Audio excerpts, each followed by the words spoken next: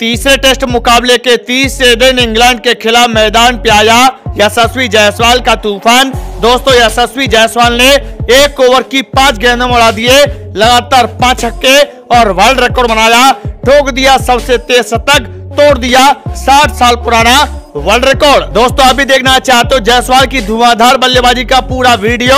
इस वीडियो को एक लाइक करिए चैनल को सब्सक्राइब करिए बेल आइकन दबाइए और नोटिफिकेशन पे क्लिक करना बिल्कुल ना भूलें। दोस्तों इंडिया इंग्लैंड के बीच में राजकोट में तीसरा टेस्ट मुकाबला स्टार्ट हुआ, जिसमें पहली पारी भारतीय टीम ने बड़ा स्कोर बनाया। 445 रन का, जिसमें यशस्वी जायसवाल पहली पारी में मात्र 10 रन बना करके आउट हो गए। रोहित शर्मा ने 131 रन की पारी खेल डाली, शतक जड़ दिया जडेजा ने भी शतक जड़ा और 112 रन की विस्फोटक पारी खेल डाली। दोस्तों, इस लक्ष्य का पीछा करते हुए इंग्लैंड की टीम पहली पारी में 319 रन के स्कोर पे ऑल आउट हो गई। इंग्लैंड की ओर से बेन डकैत ने सबसे ज़्यादा एक सौ तिरपन रन की पारी खेल डाली एक गेंदों में और किसी बल्लेबाज को नहीं चलने दिया।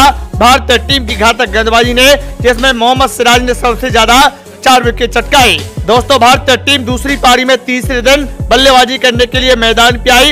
रोहित शर्मा 19 रन बना करके आउट हो गए और वहीं यशस्वी जायसवाल ने गेंदबाजों की झाम बिखेर दी और 133 गेंदों का सामना करते हुए जायसवाल ने नौ चौके लगाए, पाँच गेंद चुम्मी छक्के की मदद से एक से चार रन की विस्फोटक पारी खेल डाली और रिटायर्ड हट होकर के मैदान से बाहर चले गए। तीसरे दिन के खेल खत्म होने तक भारत टीम ने 322 रन की बढ़त बना ली है इंग्लैंड के ऊपर।